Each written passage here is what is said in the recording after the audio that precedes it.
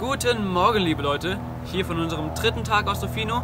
Wie schon angekündigt, steht heute Surfen auf dem Tagesplan. Wie einige von euch vielleicht sicher schon wissen, zählt Surfen ja neben Skateboarden als eine der schwierigsten Boardsportarten überhaupt.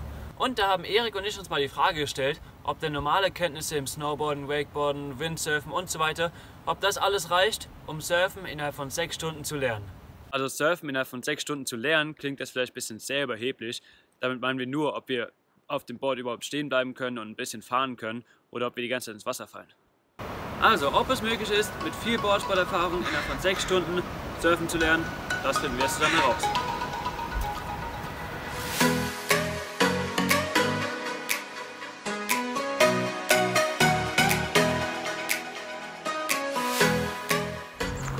So, so ziemlich die einzige Möglichkeit, wie man hier in Tofino von A nach B kommen kann, ohne Fahrrad, ohne Fahrzeug.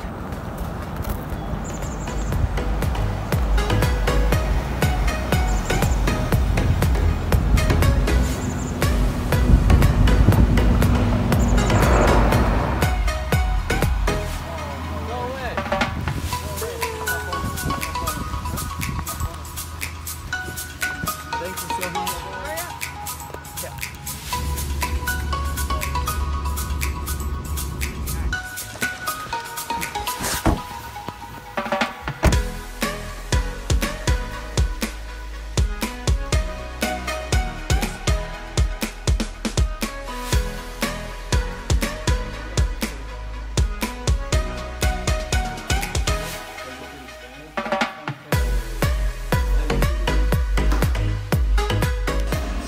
sind hier mega in Luberschiff gelandet. Wir haben jetzt kostenlosen Access zu Sauna, zu Hotte, zu Wellnessbereich, allem.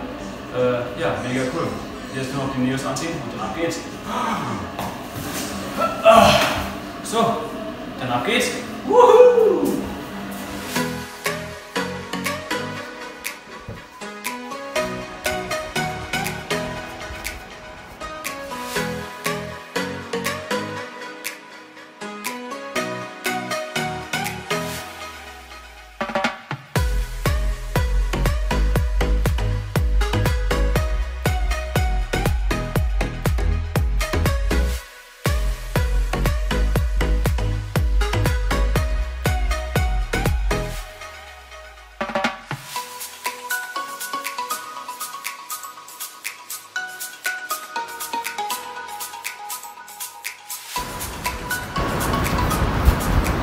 So, wir haben jetzt erstmal relativ große Surfbretter bekommen. Die sind hier mit relativ viel Literanteil, relativ viel Volumen, damit es einfacher ist für uns Anfänger. Äh, mal gucken, wie das Ganze klappt. Woohoo!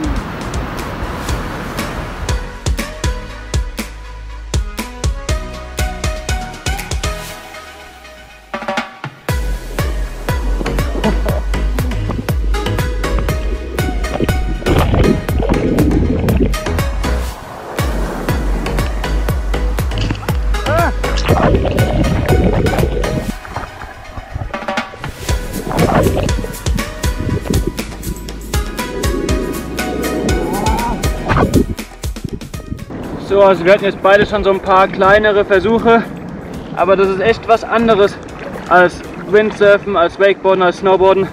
Um einiges wackeliger.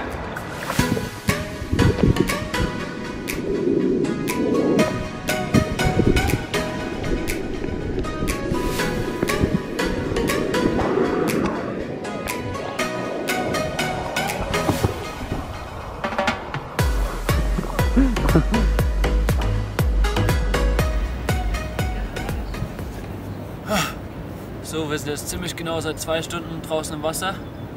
Und ich muss sagen, es ist schon ganz schön anstrengend. Auch echt sehr, sehr schwierig. Also, es ist zu Recht eine der schwersten Boardsportarten. Äh, wir haben es beide geschafft, auf eine Welle drauf zu kommen und dann quasi so mit dem Weichwasser mitgespült zu werden, auch im Stehen. Äh, was wir noch nicht geschafft haben, ist quer zur Welle zu fahren, was anscheinend auch sehr, sehr, sehr schwierig sein soll. Aber wir haben noch zwei weitere Stunden. Mal sehen, wie es weiter noch klappt.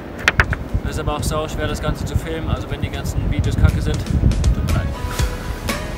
Ah. Alter, ich finde es so anstrengend.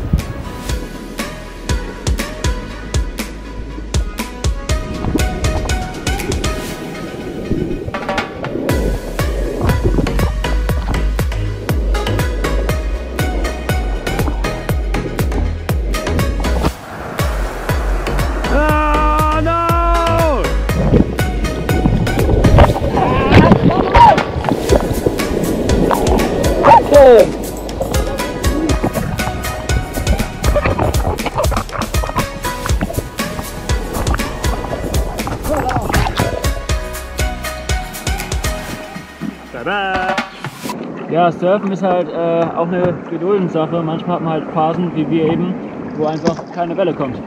Aber ist auch relativ entspannt, dann sitzt man hier einfach und dann Da muss man halt Wellen machen.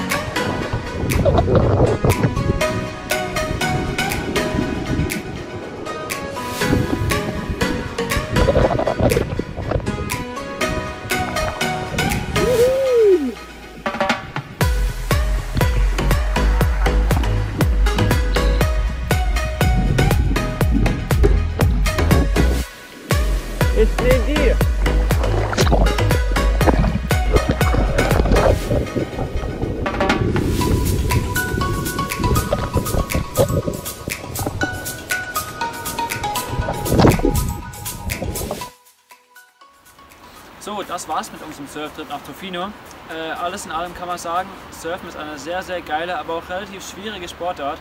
Ich würde auf jeden Fall sagen, dass Voraussetzungen wie Windsurfen, Snowboardfahren und so weiter sehr, sehr hilfreich sind, wenn man das erste Mal auf dem Board steht. Einfach weil da das Gleichgewicht ein bisschen besser ist, weil man ein bisschen mehr Bordgefühl hat. Aber trotzdem innerhalb von einem Tag. Man kann Spaß haben, aber man kann kein Surfen lernen.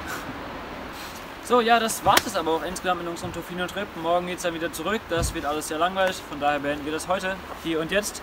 Ciao!